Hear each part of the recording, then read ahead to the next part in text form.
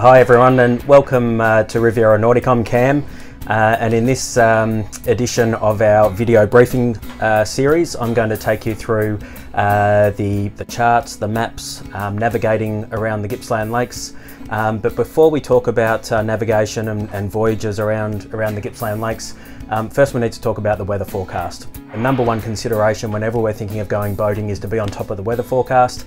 Um, you can talk to us, uh, our friendly staff at any stage, um, if you do want to get an update on the weather forecast. However, these days with um, smartphones, smart devices, um, if you uh, Google or if you type into your search engine BOM, uh, as in the, the, abbreviation for Bureau of Meteorology, BOM Gippsland Lakes, um, you'll get the Gippsland Lakes Marine Forecast. Um, now this is a forecast that is dedicated for the Gippsland Lakes. Um, so try and forget about any other favourite weather apps and things that you've got. Um, we can't do better for boating on the Gippsland Lakes than going by the BOM's Gippsland Lakes forecast. Um, it doesn't tell you a lot about um, temperatures and things, but what it does uh, do is it gives you uh, critical information that we need for boating, which is wind direction and wind strength. Um, so it's going to give you wind strength in knots um, as its wind speed. Um, so if you're not familiar with, with knots, um, 0 to 10 knots of, of, wind speed is a, is a light breeze. Um, 10 to 15 knots is, is, is, getting towards a moderate sort of a breeze. Um, 15 knots plus is, is getting to be quite a stiff uh, sort of a wind. Um, and at 25 knots, um, the Bureau will is issue a strong wind warning. And at that point, we need to be really careful about what the sorts of things that we're thinking to do um, from a boating perspective. So again, if you're not sure, talk to our friendly staff and, um, and we can help you interpret the weather forecast. Okay, so once we're on top of the weather forecast, we can start to plan some voyages around the lakes. And typically on, on our boats at Riviera Nautic, you've got a, a few different tools for navigating around the lakes. What I'm going to uh, focus on today is the Gippsland Ports uh, boating guide. Um, so we're going to look at that in a fair bit of detail. Um, having touched on the weather forecast, it's extremely important, it's critically important that the, um, uh, the most important decisions that we make in boating around the lakes is that we want to make sure that we're ending up in a sheltered destination for your, for your evening destination. So when we're looking at different destinations around the lakes, some of them are going to ex be exposed in certain wind directions and some of them are going to be nice and sheltered and they're the ones that you want to go for. So what we've got in our blue folder that you've got on board your boat at Riviera Nautic um, is this really fantastic two-page table and it's got listed down the left-hand side all of the most popular destinations around the Gippsland Lakes and then you'll see here in certain forecast wind directions whether or not it's a good place to be. So we say excellent or we say good, um, and in some cases we say no. Okay, so this is a great sanity check for you when you're on top of the forecast and you're thinking of places that you want to go. It's really important that we're, we're aiming to be at sheltered destinations for the evening. Um, so I'll put that aside. Of course, you can talk to us at any stage you want to about the decisions that you're, you're needing to make for um, uh, to bounce those those decisions off us. As I said, we're going to focus now in some detail on the Gippsland Ports Guide. Um, stick with us, it's quite a long slog, uh, but it's important that we get through it and that uh, you're able to understand uh, the different voyages available to you on the lakes. Okay everyone, so this is the Gippsland Ports Boating Guide uh, for the Gippsland Lakes. Um, you can do all of your navigating um, via this guide. Um, I'll also just highlight for you, uh, there's a couple of good resources on our website and one of them is basically an electronic version of this that Gippsland Ports offers, um, which is a really handy tool, basically converts your smartphone into a chart plotter and there's a link to that on our website. But for, for, the sake of this presentation, we'll, we'll look at the paper maps that we've got uh, on board your boat uh, for you. So the top section of, of this map, and this is a double-sided series of, of uh, maps on the boating guide, the top section up here gives us an overview of the whole lake system. Um, so it's, it's great for orientation and getting your bearings of, of the whole system. Um, but it is important that once we are planning a voyage or once we're underway and navigating that we are um, going to the most detailed plan that's available. And you'll see on each of the maps there's a series of dotted boxes uh, that means that there's more, more information available on another plan somewhere um, on the boating guide. Um, if we start with our overview here, uh, to get ourselves orientated, we are currently at Riviera Nautic, which is at the mouth of Chinaman's Creek here in Metung. Metung is a really, um, uh, it's a good indicator on each of the maps to find and get yourselves orientated because Metung finishes in a spit of land called Shaving Point. Uh, it's a knobbly little spit of land there. Um, as an example, here it is again over, over here on another plan. That knobbly spit is the, the tip of Metung. Um, so Chinaman's Creek is just around the corner from, from Metung. Um, on this plan, I'm going to show you where your charter limits are and get yourself uh, and get you orientated with the whole lake system. Um, so if we look to the east of where we are here, um, there's an area we'll look at in more detail, but it's down here, I'll draw it on here, and it's called, I beg pardon, it's down here, it's called Barrier Landing, and that is the limit, um, the charter limit of where you can take your boat uh, from Riviera Nautic down at Barrier Landing.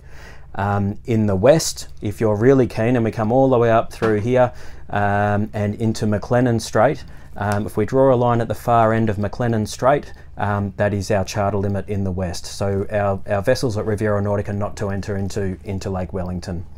Um, of course, there's a lot of area in between here for us to explore. Um, we've got uh, three major rivers that flow into, into Lake King, um, and there's charter limits up, up each of those rivers as well. So we've got the Tambo River up here, uh, the Nicholson River, and the Mitchell River. Um, so the Tambo River uh, for yachts, um, your limit is at the Princes Highway Bridge. Um, motor cruisers actually fit under that bridge and can keep going up to a place we call the Cliffs, which is up at the bends in the river um, up here. So that's your limit for motor cruisers. For yachts, back here at the uh, Princes Highway Bridge. Um, in the Nicholson River, all Riviera Nautic boats can head up to the Princes Highway Bridge, but no further. So no boats get under the bridge at the, the Nicholson River.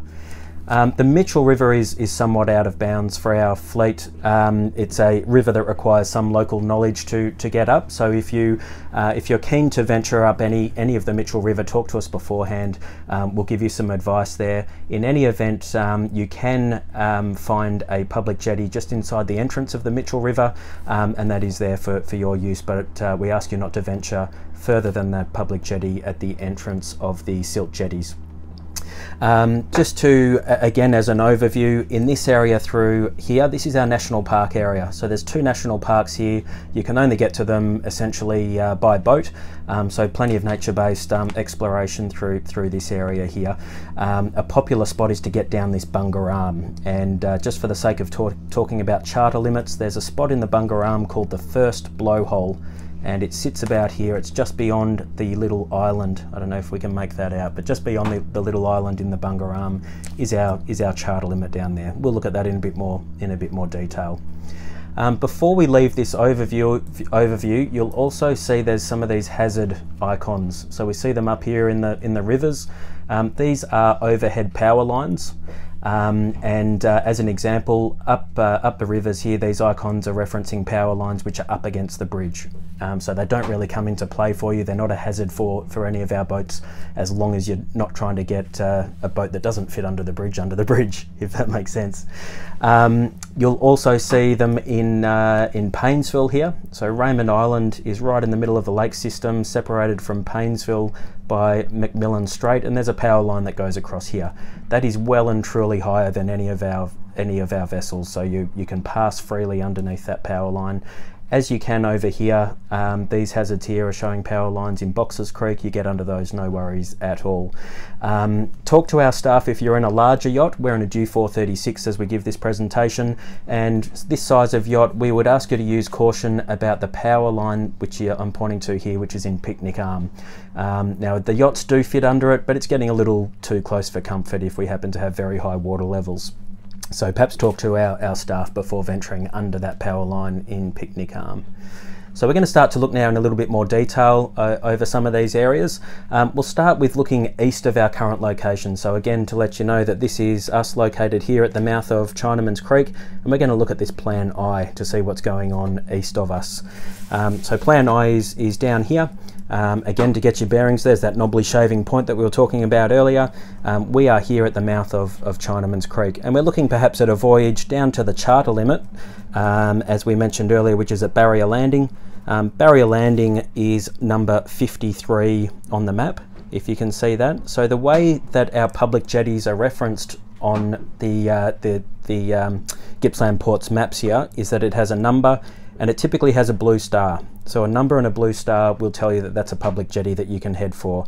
And if you're keen, you can have a look over the page. And if we looked up number 53 on the list here, it'll tell you that it is Barrier Landing and it tells you some of the facilities that you can expect to see at Barrier Landing.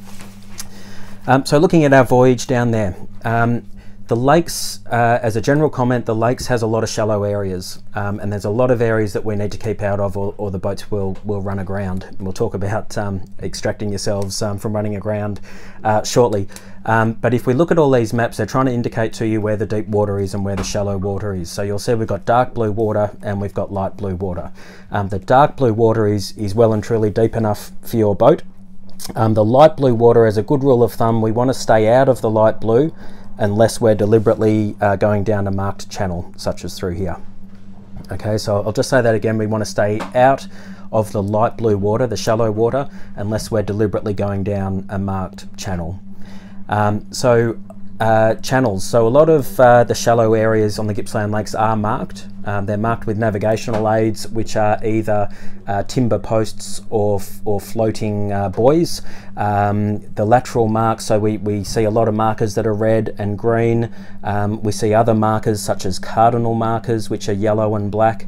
Um, and there's various um, uh, bits of information available on these maps that, that indicate to you which side you should be passing. However, we find that typically when you are looking at a particular marker on the map, you'll usually find there's a deep water side and a shallow water side. Okay, so the first thing to remember that every marker is there for a purpose and we must try and make sure we're passing on the correct side of the marker. But quite often if you reference your map, there's going to be a shallow side and a deep side and we want to stay on the, on the deep water side of that marker. So if we're planning a voyage from uh, Chinaman's Creek, where we are here at Riviera Nautic, down to uh, the barrier landing at number 53 down here. Um, the first part of our voyage between uh, Chinaman's Creek and Bell's Point is fairly straightforward. We've got lots of nice deep water off Bancroft uh, in Bancroft Bay here, um, but the marker at Bell's Point, we need to make sure we're staying outside that marker as we come around the bend. Um, and of course, we've got a lot of shallow water ahead of us here as well, so we do need to use Bell's Point as a turning mark um, but just making sure we don't cut the corner between the marker and the land at Bell's Point. So we come around Bell's Point, we turn left, and that means that we've got Flanagan Island on our right hand side. Um, we've got the mainland shoreline on our left hand side as we're coming down Reeves Channel here. Um, incidentally, we've passed Nungurner at that point, uh, which is a lovely sort of daytime destination for picnicking and so on. Um, we've got Harper's Bight here, which uh, has a couple of public swing mooring buoys uh, for your use. Um, and there's also now, not shown on this map, but at Nyerimilang here, there's a public jetty as well, which takes you up to the, the Heritage Park and Homestead at Nyerimilang. Um, so plenty of good water for boating down this Reeves channel, but you can see as you're getting down to this point here, the deep water's running out and we've got shallow water in front of us here. And we've got a series of markers around, around this area. Um, the markers to at the northern side here, we, we're going to forget about. They take us into the township of Lakes Entrance or, or even outside the entrance, uh, which is somewhere that we're not allowed to go in our Riviera Nautic fleet. So what we are concerned about is these markers closer into Fraser Island. Um, so as we're coming down Reeves Channel, we're looking to our right hand side and we'll see where Flanagan Island finishes and Fraser Island starts. Um, and at that point there, if we're sailing, we want to drop our sails um, and we want to, uh, kind of against our common sense, we want to go in really close to Fraser Island in through here. So these cardinal markers with two, two uh, arrows pointing down, that's telling us that the good water is to the south. So we're going to stay between the marker, so south being down the page effectively, um, we're going to stay between the marker and the land at Fraser Island as we come through here. Um, and essentially then all we're doing is, is following the shoreline around at Fraser Island. So between these two markers here, um, straight between the two islands of Fraser and Rigby. And as we come out the other end, we've got red and green markers that we're going to stay between. Um, so the good channel is between the red and the green. In this in instance, uh, we are technically heading out of port. So we're going to keep green markers to port or to our left and red markers to our right or starboard and that takes us straight to the, the jetty at, at Barrier Landing. Um, one word of caution about Barrier Landing, you'll see how close we are to the entrance to the ocean. Um, this is effectively the plug hole of the lake system to the ocean. Um, so we do get strong current flows or tidal flows through this area here. Um, and while it doesn't really change the water level a, a great deal in the Gippsland Lakes, um, it does sort of rush past the, the jetty here. So um, there's two options that you've got for mooring your boat down at Barrier Landing. If you do want to use the, the public jetty, we ask you to only use the outer face of the jetty um, because if you're trying to use the, the inner sections of, of the jetty down there, you can get yourself into all sorts of trouble quite easily um, if those tidal flows are moving quickly. Um, aside from the jetty, we actually also have a couple of hundred metres of beautiful lake beach all the way along here. And you're welcome in any of our Riviera Nautic boats to nose the boat so forward uh, gently up to the, to the sand at the beach. And there's posts in the sand here uh, that are, are, there for the purpose of, of tying mooring ropes to. So you can nose up directly to the beach there as another option. Um, so we'll, we'll leave, um, I should mention incidentally that returning from Barrier Landing we really have to just do the same way that, that we came in. Um, but a lovely spot down at Barrier Landing, it's where you find a lot of the crystal clear water, a lot of the sandy beaches, um, both on the lake side and easy walking access over to the, uh, to the 90 Mile Beach as well. And incidentally you might not know that uh, the 90 Mile Beach is the longest beach in Australia and um, it's uh, the second longest beach in the, in the whole world. So um, very worth a visit even in what we would consider busy times on the Gippsland Lakes, you can feel like you're the only person on earth when you're, when you're walking along the 90 mile beach. Um, what we're going to do now, if I just quickly reference our, our overall plan again, we were just looking at the very eastern end of the lakes here um, and just to, to, give you a guide the journey we were just talking about then that voyage is, is really only about a, an hour or so in each direction um, if you're traveling at, at, some sort of cruising speed. Um, what we're going to look at now is the middle chunk of the lakes and we'll do that by flipping over the page here. And so to get you orientated guess what? There's our knobbly spit of, of shaving point uh, which, uh, as we said, is a good reference mark. This is us at the mouth of Chinaman's Creek. Um, and as we move west, we've, we've, got Raymond Island right in the middle of the lake system, our national park area through here, um, and Lochsport and, and, beyond as we head further west. Um, so if we were now planning a voyage to head up towards this, this end of the lakes up here, um, Shaving Point, incidentally, um, has deep water all the way around it, and this is blown up here. We can see we've got a, a dotted uh, box here in Plan H. Um, so Shaving Point we see in, and Metung we see in detail here.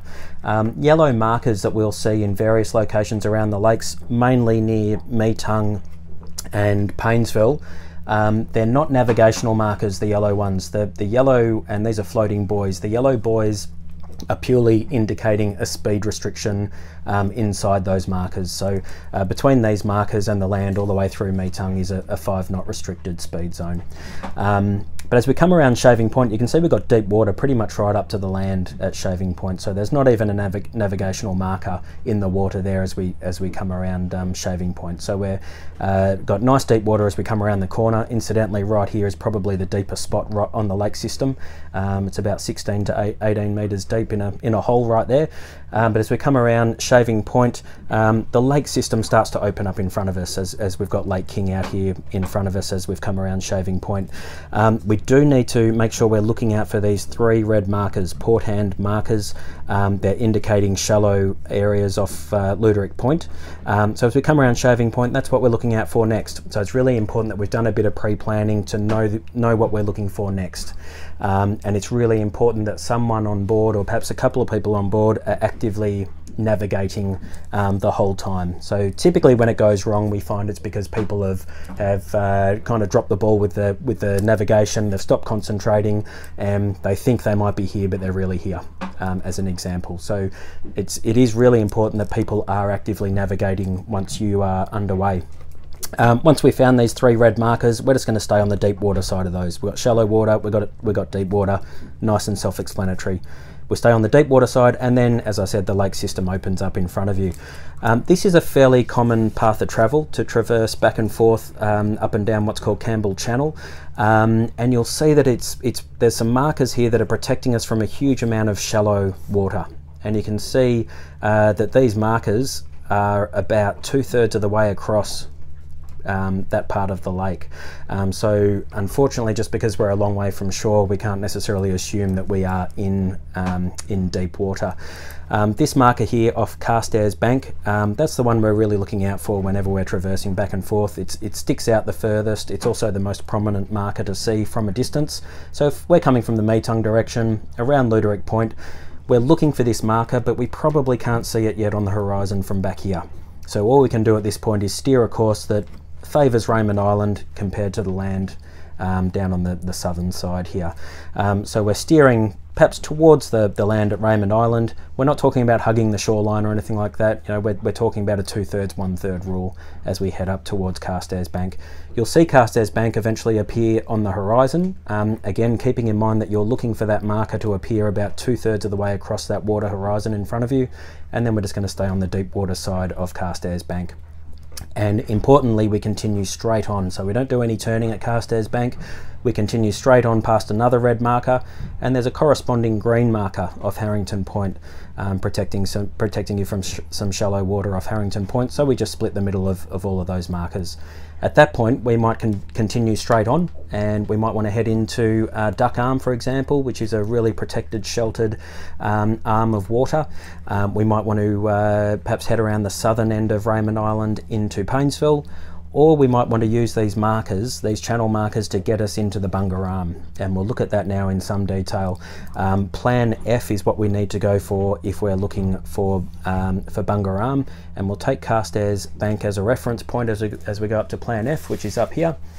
So Carstairs Bank is this one up here. So now we've got the most detail available to us. So if we're coming from the Metung direction, we're coming this way, we pass Carstairs Bank, we come straight on, and we've got more red markers to our left. That's that um, corresponding green marker off Harrington Point. And what we're doing at this point to get into the Bunga Arm is we're following the red markers around. And if we follow the red markers around, we've got green markers that meet us on the, on the other side, and we are in the channel. Um, so again, if you're on a sailing boat, we'd be dropping our sails out here and doing the narrow channels under motor only. Um, so as we come down the Bunga Arm Channel, we've got uh, red and green markers. We're coming into harbour at this stage, so we've got red markers uh, to port to our left and starboard markers, uh, green markers to starboard, which is our, our right. Um, what I do need to indicate here on this particular map um, is a change that has um, been affected in, in reality, which is not picked up on the paper maps. And that is that three cardinal markers that were quite confusing have been removed. Um, so even though I'm scribbling on here, I'm actually simplifying things for you. So these cardinal markers don't exist. And what happens now is if you stay between red and green markers, you come down this steamer channel. And the steamer channel eventually brings you out to the steamer landing jetty. So if we looked at looked up number 23 at this blue star, we'd see the steamer landing public jetty. So that's again there for your use. A bit like barrier landing, gives you great walking access over the sand dunes to the 90 mile beach again. So a lovely beach uh, beach spot. Incidentally, you'll get some of the best sunsets um, you've ever seen uh, in this area down here um, as the sun sets in the west over the water and, and all of these little little islands as well. Um, in addition to steamer landing down here, we've got Ocean Grange, a very similar experience. Um, you've got the homestead there at, at Ocean Grange as well with a, a, a, tower so you can pick it from the water. Uh, that's number 22 there, Ocean Grange. And there's a separate channel that comes in to Ocean Grange. Um, it intersects with the steamer channel up here. So it's just a series of red and green markers that intersect with, with each other. Um, just one word of caution that I do want to point out in these channels, and, and this is essentially a loop if you like, you can go in one way and come out the other way. Um, if you've been at Steamer Landing and you wish to come out the Grange channel out this way, um, be cautious of this first green marker here. Um, so that green marker catches people out from time to time. If you're wanting to head down this channel, the first thing we need to do as we leave Steamer Landing is come around outside that green marker. Okay, just watch you don't cut the corner here and head for the, uh, the red and green further down. Um, so yeah, down at, at Barrier Landing, um, uh, sorry, beg your pardon, down the Bunga Arm, um, these are the two main destinations you're headed for, uh, 22 Ocean Grange and 23 uh, Steamer Landing. I will just um, talk a little bit, bit about heading further down the Bunga Arm. If I come back to our, our larger um, scale plan here, um, so those two areas we're talking about are, are about here. Uh, but as I said uh, at the outset, you can head all the way down to this first blowhole here. That's the absolute limit for our charter boats. Um, so there's some lovely spots along the southern edge of, um, uh, of the Bunga Arm that you can nose up to. There's no more jetties, but you can nose up to the campsites along here at the Bunga Arm or down at the first blowhole. Um, there are, though, there are some shallow areas down in the Bunga Arm and they're not, not marked with, uh, with channel markers. Um, so what you need to do is keep in mind, again, a two-thirds, one-third rule. We want to favour the northern shoreline all the way along Bunga Arm. Again, we're not hugging the shoreline, but we're applying about a two-thirds, one-third rule um, so that we just favour the, the northern side of the arm in the bunga. Of course, at some point you're going to want to nose into the, the southern shoreline because that's where you get the nice access over to the, to the 90 mile beach. Um, so stay out wide until you find a spot you want to try and come into and we're just going to do a perpendicular 90 degree turn and very slowly at this point come towards the, the southern shoreline. And we do it slowly so that if we do hit the bottom somewhere that we don't want to hit the bottom, uh, we've got a good chance of being able to extract ourselves and, and try somewhere slightly different. Um, the worst of the shallow areas in the southern end of the bunga are after this little spit here, not, not far past um, steamer landing. Um, so you want to head a fair way down the arm before you start trying to, to nose into the bank there. And I hope that uh, that makes sense for you. Um, we're going to move on from the from the uh, Bunga Arm into another part of the national park at Sperm Whale Head and Rotamah Island. Um, Sperm Whale Head has a, a, jetty number 16 here, and getting to it is, is quite easy because it is um, basically a direct path without a channel straight into the to the jetty at uh, at Sperm Whale Head. Um, it is a relatively exposed jetty, so we need to be uh, cautious about when we choose to, to head there. You can see that it's um, exposed to basically anything from the from the east at um, at Sperm Whale Head. It is a, a, good lunchtime sort of destination. There's barbecues there, picnic grounds, um, but you want to make sure that it's uh, quite a still night if you if you're going to be there overnight. Um, further down here, number 17 is Rotamah Island. Really pretty nature-based spot. Um, you're almost uh, guaranteed to see uh, kangaroos and, and, other wildlife down at, at Rotamah Island. And there's some beautiful nature-based walks that go all the way or around Rotamah Island, but also head through the marshy area through here all the way to the 90 Mile Beach. So if you're into your, your nature walks and your bush walks, a, a must do on the, on the lakes. Um, to get down to Rotamah, so that's number 17, the blue star is, is the jetty, um, we need to be looking for these three red markers. And um, a word of caution about these three red markers is that they're very close to everything related to the Bunga Arm channel. Um, but we need to make sure that we are not passing between, for example, this marker and this marker because they're not related to each other. These two are, these two aren't. So these three red markers down to Rotamah um, are purely guiding you down. We're going to leave those to port to our left as we come down to the jetty at Rotamah Island.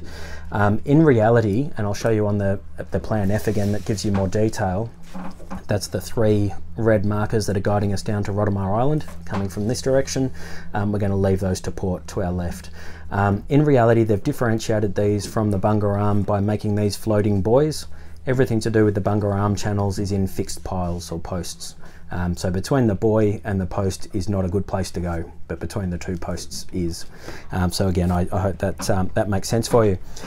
Um, to the middle of, of, the lake system here, I mentioned Duck Arm earlier. Duck Arm is a lovely spot to head to, well, in any condition, but it is a nice safe haven if the weather does turn on you.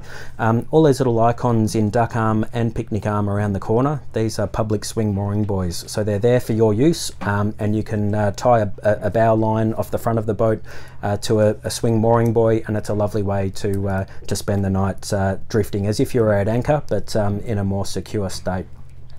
We've also got the beach inside James Point. So if we were to head into Duck Arm and do a U-turn to the left, we'd end up on the on the shoreline beach um, in, at uh, at James Point. A lovely spot um, there, and it's nice and protected in anything from the east, but it is to be avoided in in any sort of southwesterly um, wind forecast. Um, heading into Paynesville, so Paynesville is uh, one of the bigger towns um, on the lake system, great for supplies. Um, you can literally moor the boat and walk down the jetty to a restaurant at the end of the jetty. Um, and we need to go to Plan E if we're going to look at uh, at Paynesville in, in a lot of detail. So that's uh, that's up here, Plan E. Um, if we're looking at the southern end of Paynesville, if we're coming around um, the bottom end of Raymond Island, um, we've got two cardinal markers here, and you can see they're protecting from shallow water. So we're just going to stay around the outside of those cardinal markers. Um, we've got a special purpose buoy, which is our five knot speed zone buoy. So at this point um, on, we just need to make sure um, that we're, we're really at a pace which is probably about a slow jogging pace and it's not creating any significant boat, uh, boat wake. Um, as we head into the strait at, um, at Paynesville, so again, this is McMillan Strait, which separates Raymond Island from the township of, of Paynesville. Um, the dotted line here you'll see is a vehicular cable ferry. So it's a ferry, a car ferry that goes back and forth between Paynesville and, and Raymond Island. Um, it goes back and forth all day and, and half the night as well. Um, and it's on, uh, on chains. So it can't maneuver and it's not going to give way to any boating traffic. So it's really important that if you see the ferry loading up its cars and it's got all its cars facing forwards and it's lifting up its ramps and it's looking like it's going to get underway, um, you need to hold off and, and, perhaps do some turns or some circles um, to make sure you're not trying to then rush rush in front of the ferry. So if it looks like it's moving or indeed if it is already moving, make sure you're passing behind uh, the car ferry. Um, the car ferry is also a good indicator where it lands on, on both Paynesville and Raymond Island. It's a good indicator of where the public berthing is. So on the Paynesville side, anywhere south of the ferry landing, so all of this area here is public jetties. Uh, that's public berthing where you can moor your um, your boat for the, for the night. Um, on any of the public jetties, and you'll see it um, certainly in Paynesville, uh, but this is a general comment for all of the public jetties. It's important that you check the color coding and the sign on the jetty, and, and as a good um, a good indicator for you. You want to try and avoid any area that's painted red or yellow. So red is permit only and yellow is very short term um, uh, dropping off or picking up, etc. Um, so even if it's a public jetty, just avoid the red and the yellow areas. Otherwise, there's plenty of public berthing all the way down um, uh, south of the ferry landing in Paynesville. It's also where the main esplanade is and all of the shops and, and restaurants, um, etc. Um, around the southern side of Paynesville at number 36 here, there is another public jetty. It's called the Progress Jetty. Um, and if you've read our manual, you'll see that we go to great lengths to uh, indicate that that is out of bounds. Okay, so um, Riviera Nautic boats are not to use the Progress Jetty at the southern end of Paynesville. Um, the water is too shallow and it's, it's quite uh, exposed and, and can be quite um, uncomfortable uh, or even dangerous in there at times. So please avoid the Progress Jetty and we want to use these um, public jetties Um, south of the ferry landing. On the Raymond Island side, um, and of course Raymond Island is, is famous for its koala um, spotting. Um, so again, if you head to Raymond Island, you're guaranteed to see to see koalas. Um, and uh, there's a public jetty on the Raymond Island side, diagonally opposite the crossing of the ferry. So that's it here at number number 29. Um, again, just check the colour coding on the jetty. Um, keep in mind that the uh, even though this is a car ferry, pedestrians can use the ferry as much as you like for free. so you can moor the boat on one side and experience both Paynesville and and Raymond Island. Um, I'm not going to cover a lot more in, in Paynesville. It looks more complex probably than what it is. Um, again, it's a, a, narrow sort of area, so um, we would encourage our, our sailing boats to, to, be doing this under motor only. Um, and uh, the only other thing I want to point out in Paynesville is that towards the end of Slip Road, and it's not really indicated here, but towards the end of Slip Road, if you can see that, um, there is a jetty there which has fuel bowsers on it. Um, now you're not going to need to, to top up your fuel.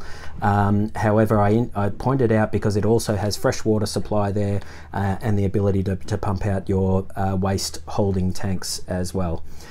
Um, heading out the northern end of Paynesville, um, the strait uh, finishes at this point here and we're back out into Lake King. Um, but what I want to highlight to you is that there's a, a port hand marker, a red marker, um, uh, which uh, is a long way offshore here as we leave this, the strait. And in fact, to get around that, and we're staying on the deep water side of that marker, um, as we're leaving the strait, it kind of feels like you're just going to turn slightly left to get out around, around that marker. So to, to give that some more context, if we go back to this plan down here, we're leaving the strait and we're making sure we stay on the deep water side of of that red marker there. And then we're out in the, the larger expanse of Lake King. So really nice open water out here for sailing. Um, and this is where our three major rivers uh, flow into the Gippsland Lakes, the Tambo, the Nicholson, and, uh, and the Mitchell and of course, the Mitchell River flows out into the lake system via these um, naturally occurring silt jetties, which are, are, now the, the longest silt, silt jetties in, in the whole world. Um, so really, really impressive, especially if you see an aerial, um, an aerial view of them. Um, if we look at these rivers here, and I'll start with the Tambo River, um, the Tambo has a, a, channel which sticks straight out in, into Lake King, and before we look at that in more detail um, on another plan, you can see just how far that sticks out into Lake King. So if you're looking for the entrance into the Tambo River, you don't want to be hugging the shoreline looking for the entrance, we need to be out in the middle of Lake King, somewhere off Point King in fact. And once you find the channel, it's just a nice straight channel which guides you straight into the mouth of the Tambo. Um, to look at that in a bit more detail up here on plan G, uh, this is the Tambo River here, and you see we've just got a straight channel that goes straight into the river. The key is to find the channel and line it up, and all of a sudden it becomes nice and straightforward. Um, just a little further over to the, I guess, to the west, we've got the entrance into both the Mitchell and the Nicholson rivers. So they share a channel, at least initially. And this channel doesn't stick a long way out. It actually sort of runs parallel to the land um, up the northern um, sort of shoreline of Lake King. So if you look at that in more detail again here, we've got a straight channel which is running kind of parallel to the shoreline.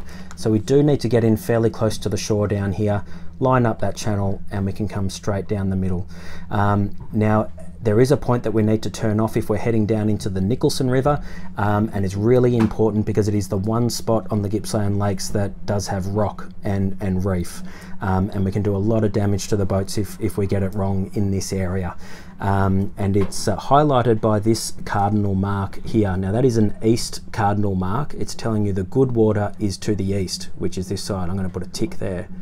Um, it also means then, um, by default, that we don't want to go to the west of it. So everything in this area through here is horribly shallow and rocky. Okay, so if we're going into the Mitchell River, and I mentioned at the outset there is a jetty, it's not shown on this plan, but there is a jetty just inside the entrance of uh, the silt jetties, and you're welcome to use, use that jetty. And to do so, we just keep red markers to our left to port and green markers to starboard as we come into the mouth of the river, and we can stop there. Um, if we're heading to the Nicholson River, again, as I said, we start with the same channel, but just before we get to the east cardinal marker we turn off. We turn right and we head down this way. So it's between the last of the green markers and before the east cardinal mark we go between. That's where we turn off and further down here we've got a couple of red markers that we're going to leave to our left to port. And then as we come around uh, the top of this channel we're just trying to line up this channel to head straight through the middle and we're in the deeper water then of the, the river itself. Um, so up the Nicholson River, you've got public berthing um, just before the, the Princes Highway Bridge. Uh, you've got a general store up there. You've also got the, um, the hotel as, as well. Um, and it's not too far to travel up the, uh, the Nicholson to that, to that area. Up the uh, Tambo River, and I might just go back to our very first overall plan to show you the extent of where, again, where you can go. Once you're in the Tambo River, the first tight bend here is Johnsonville and really good facilities there at Johnsonville, uh, public berthing, um, toilet facilities, barbecues, etc. Um, so that's that's your first good opportunity to, to stop. If you head about the same distance again, you get up to Swan Reach and that's where the Princes Highway Bridge is. So that's the limit for our, our yachts. Again, there's a public jetty there at Swan Reach and there's also a hotel there as well. Um, for our motor cruisers, you can get a bit more nature-based by heading further up to these bends in the river, which we, we call the cliffs. So where you see the, uh, I guess they're ready, red, red, orange cliffs, that's the, the limit um, for our motor cruisers up the Tambo. So really, really good um, opportunities for berthing up here, really sheltered. Um, so a good spot to be if the, the uh, winds are going to get strong or, or turn on you or the weather turns on you. Um, and a really nice experience in, in big boats to be able to um, venture a long way up a, up a river. Um, so that's the middle chunk of the lakes. Thanks for sticking with me. We've just got a little bit more to go as we head further, uh, further west.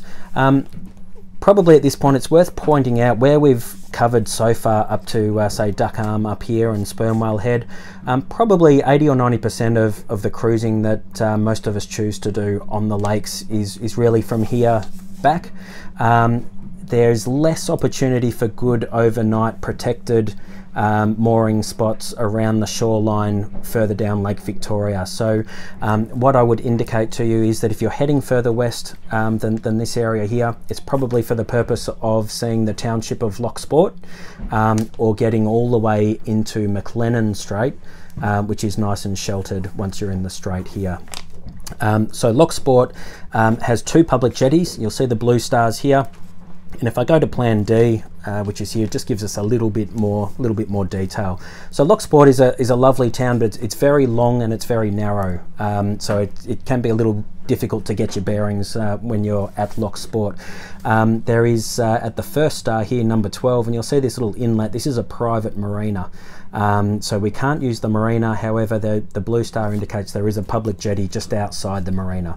So what we can do from out here, there's just a couple of red and green markers that we're going to stay between and that'll take us to the public jetty outside the marina there.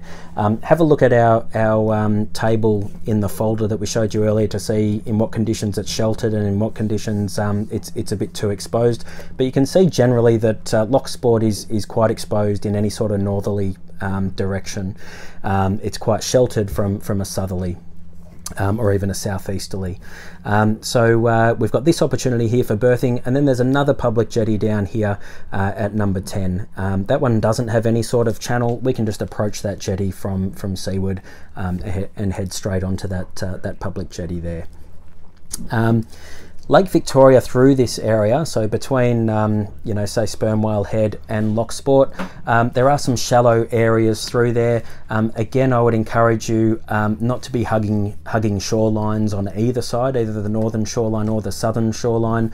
Um, head down the middle. Um, for sailing boats that are perhaps trying to do some tacking up or, or down Lake Victoria, just be conscious of not trying to get too close to the shorelines. Be a bit conservative and, and make your tack, you know, a good couple hundred metres from the from the shore. You got plenty of, of width there to, to tack your way up the up the middle. Um, the furthest uh, west that we can go, as we mentioned earlier, is um, the far end of McLennan Strait. Um, that is an area called Plover Point. Uh, most of the time it's really nice and sandy, so it's actually quite a nice beach there, um, and it's quite sheltered uh, as well. Um, and uh, earlier in the strait, as we first enter the strait, we've got Hollands Landing um, on our on our right hand side as we enter the strait uh, McLennan Strait. There is the opportunity for public berthing at Hollands Landing as well. There used to be a general store there. Unfortunately, that's um, that's no longer there. So there's no longer the opportunity for suppliers at Hollands Landing. Um, so what I've done there is given you a really, uh, well, in fact, quite a detailed overview of, of the lake system and the different voyages available to you. Um, I just want to recap some of the key messages. Um, number one is that you must be on top of the weather forecast. Um, speak to us if you're unsure about what that forecast is telling you. Um, number two, you need to make sure that you're planning an overnight destination that's going to be sheltered from the forecast wind direction, and that is extremely important. Again, talk to us if you want some extra advice um, around that. Um, now, I've spoken a lot about um, trying to avoid shallow areas. Um, of course, sometimes we do make mistakes and we get it wrong. Um, I would encourage you to make sure, as I said earlier, you are, you know, concentrating and that um, that at least one or two people are designated as navigators at, at any time. Um, but if it does go wrong, you'll know about it. The boat will run aground. Um, typically, all of the lake bed is soft bottom, so it's sand and weed and, and mud, um, and the act of running aground will rarely do damage to, uh, to the boat.